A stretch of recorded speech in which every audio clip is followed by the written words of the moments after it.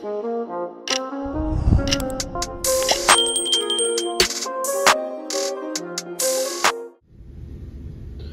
right, guys, we're here at the range. Gonna do the uh, shooting review of the Tisas Night Stalker 1911 uh, 9 mil.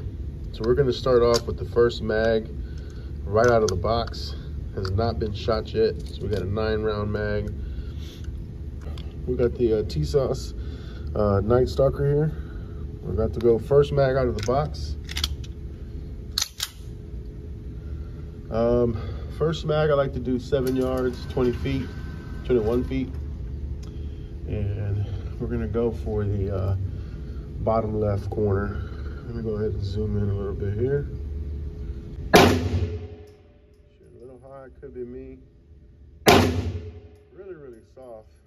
It is shooting a little high at seven. So it is shooting high. I'm going to bring it down some. Let's bring it down to the bottom here.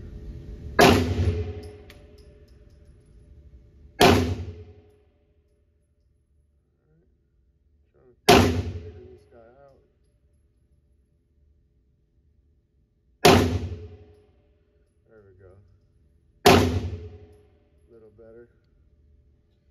So first mag, we're gonna do two mags, test the accuracy. It looks like I was shooting a little high. Second mag out of the box.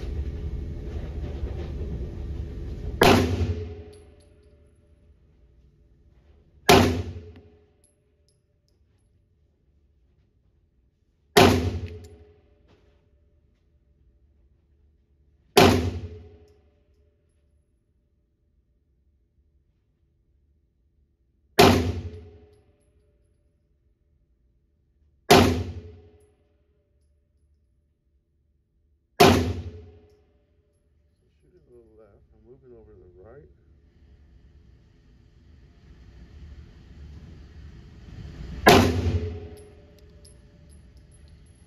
Slide lock, two mags. So the first few shots, it was uh, high. Then it started going a little low. So I tried to figure it out and then got some more closer to the ring, but it was shooting a little left. Uh, so I'm not sure if it's the sights. I rarely shoot that left. So we're gonna contribute to maybe the sights need some adjusting. Uh, so first two mag, 16 rounds at uh, 21 feet. We're gonna do some four round groups with the uh, Wilson Combat Elite 10 rounders. See how those working here. Slide stop really smooth.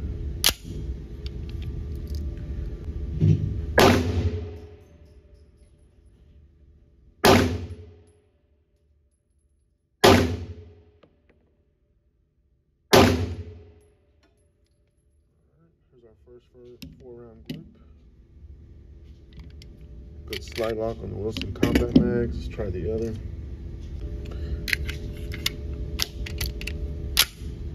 Nice and smooth The recoil, it's really, really soft. So we're gonna go up top 21 feet. Bullseye.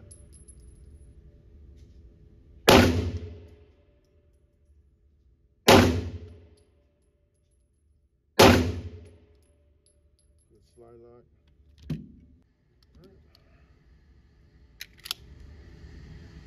Really smooth action on that slide stop. Not stiff at all. All right, let's try another four rounder at 30 feet. Way high left. Bring it down some.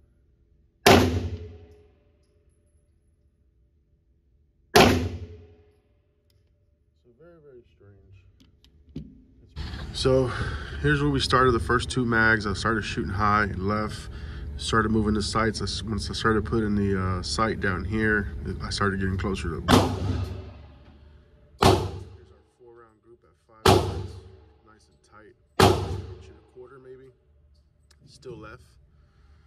Then we pushed it to 21 feet, one inch group, really really tight. Again, left and high, which I rarely shoot left and high. Then when we pushed it to 10 feet, um, or it's 10 yards, kind of got them all on the left side and high. So I'm not sure if it's something with the sights. I rarely shoot up and left, so that's kind of weird. But fist size, not too, too bad. All right, now we're gonna try a pair of three round groups at the one inch squares, the left and the right. With the Wilson Combat 10 rounders. Start with the one on the left.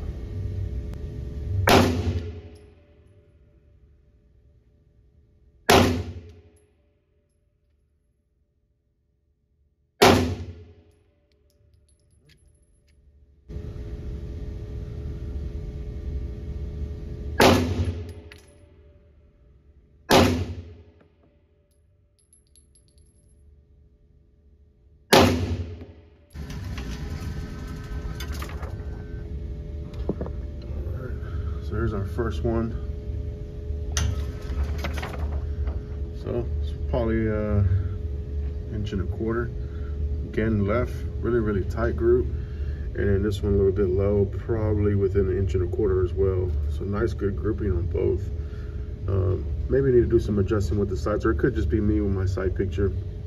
I've never used these uh, little U-notch rear sights, so it's a little bit tighter uh, rear sights in the back there. And then I don't have the best vision, but man, I'm satisfied with the accuracy of this pistol. Just got to work on this left left deal. Never really shoot left, but nice tight groupings here, here, here. And then when I pushed it out to 10 to 30 feet, I got a little bit more wider, but still pretty much um, within the six inch ring. All right, one, two, three, four, yep, six inch ring. So now we're gonna try some doubles. We're gonna do uh, four pairs of doubles, see how we can get them.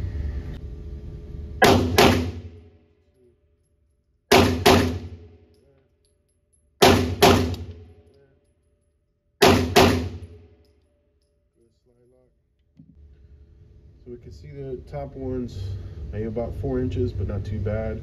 Uh, center one's about the same. And then I kind of slowed down maybe half a second and got them a little tighter on the left and the right.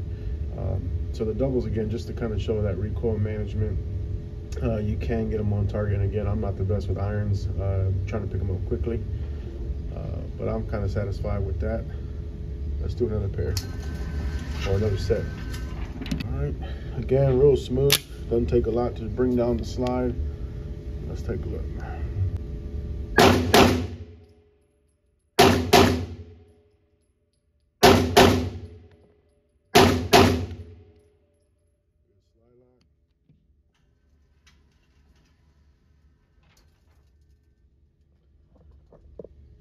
So our second set, much tighter here across the top.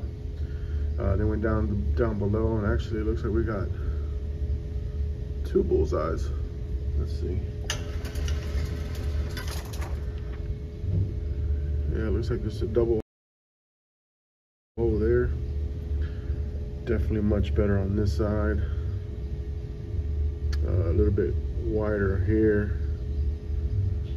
Not too, too bad. His doubles are not bad at all. They're all pretty much on target. Let's see what we can do with that little guy.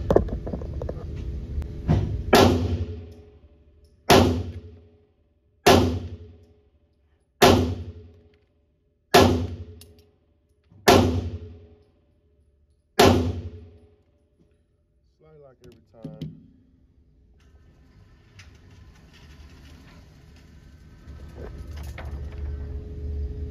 Really satisfied with that there. Seven rounds there four, or six, maybe two. There's a double hole there. So four, five, six, seven right here. This one got away from me a little bit. So 21 feet, going a little bit faster, all within the target that I was aiming at. Overall, pretty accurate gun. Very, very soft recoil. All right, guys, and we're back from the range. Uh, Night Stalker, you guys saw it for yourself. Uh, it's a pretty accurate pistol. Um, I got to get used to this sight. I'm not. I'm, this is the first uh, pistol I've seen with these U-notch, so it doesn't give me a whole lot of space for the front optic to go in between there and see the you know the equal sides. I guess as long as it's in the middle, it's good to go. But again, I'm not the best with irons. I don't have the best vision. Uh, it's the only thing that I could think of that was making me push a little bit to the right, unless you know these need to be slightly moved over, but I doubt it.